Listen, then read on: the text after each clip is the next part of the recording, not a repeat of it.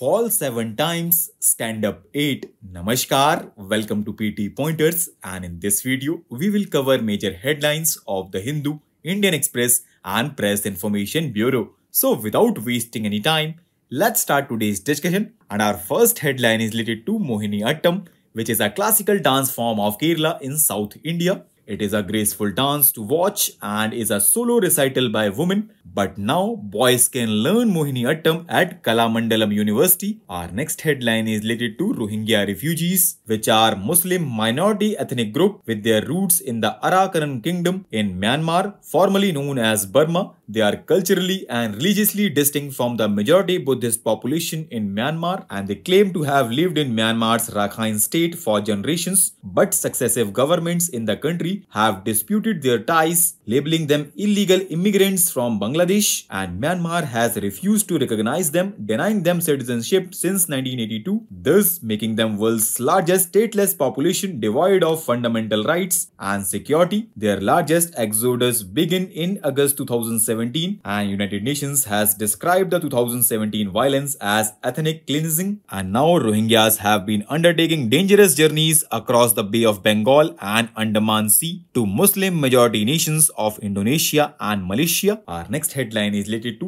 G20 Employment Working Group, which aims to address labor, employment, and social issues for strong, sustainable, balanced, and job rich growth for all. India is co chairing the second Employment Working Group meeting along with Brazil and South Africa, and it focuses on creating quality employment and promoting decent labor, addressing a just transition amidst digital and energy transformations, leveraging technologies to enhance quality of life for all, and the emphasis on gender equity and promoting diversity in the world of employment for inclusivity, driving innovation and growth. Our next headline is related to Lokpal of India and it is in the news because recently Justice Rituraj Avasthi sworn in as judicial member in Lokpal. Now let's know more about Lokpal. So friends, it is the first institution of its kind in independent India and it is established under Lokpal and Lokayukt Act 2013. It aims to inquire and investigate into allegations of corruption against public functionaries. Now let's know about the jurisdiction of Lokpal. So friends, Lokpal has jurisdiction to inquire into allegations of corruption against anyone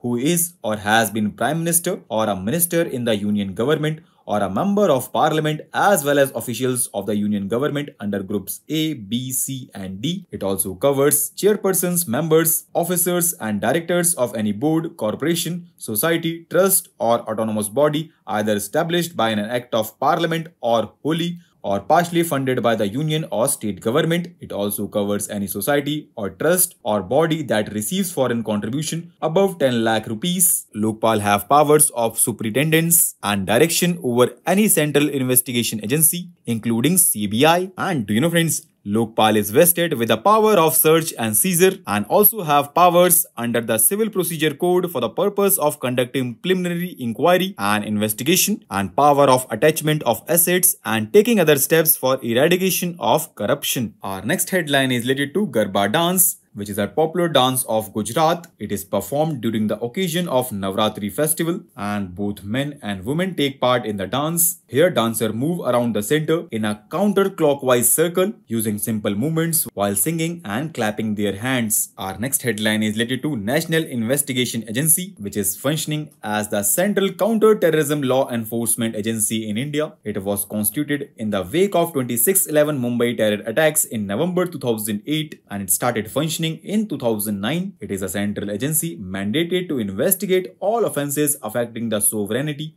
security and integrity of India, friendly relations with foreign states, and the offences under the statutory laws enacted to implement international treaties, agreements, conventions, and resolutions of the United Nations, its agencies, and other international organizations. These include terror acts and their possible links with crimes like smuggling of arms, drugs, and fake Indian currency, infiltration from across the borders. The agency has the power to search, seize, arrest, and prosecute those involved in such offences. And do you know friends, Act was amended in the year 2019 to enlarge the mandate of NIA by inclusion of offences related to human trafficking, manufacturing or sale of prohibited arms, cyber terrorism and offences under the Explosive Substances Act 1908 and expanded its jurisdiction beyond India. And now it is in the news because 1990 batch IPS officer Dr. Sadanand Date appointed as the head of the National Investigation Agency. Our next headline is related to MGNREGA and it is in the news because recently government notified revised wages under the Mahatma Gandhi National Rural Employment Guarantee Scheme with Goa seeing the maximum hike of 10.56% and Uttar Pradesh and Uttarakhand recorded the lowest raise of 3.04%. At present, Haryana continues to offer the best wages at 374 per day and Uttar Pradesh at 237 has one of the lowest wages. And do you know friends, MGNREGA is a demand driven scheme which provides at least 100 days of guaranteed wage employment in every financial year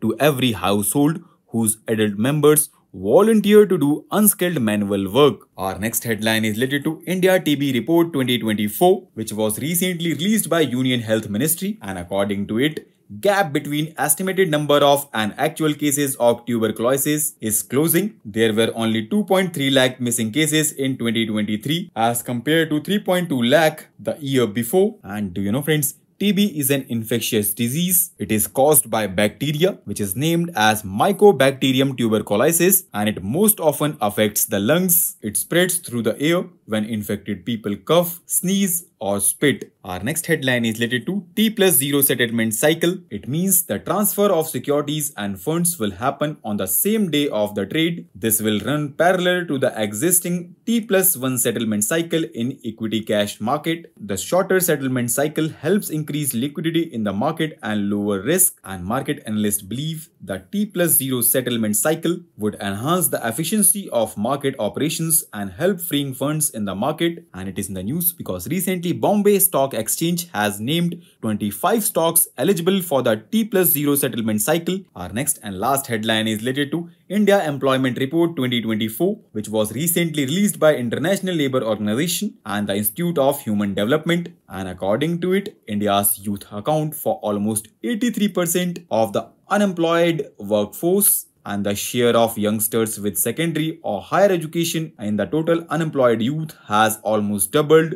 from 35.2% in 2000 to 65.7% in 2022. Women largely account for the increase in self-employment and unpaid family work. So with this, let's conclude our today's discussion. Thanks for listening and for regular updates, you can follow us on various social media platforms.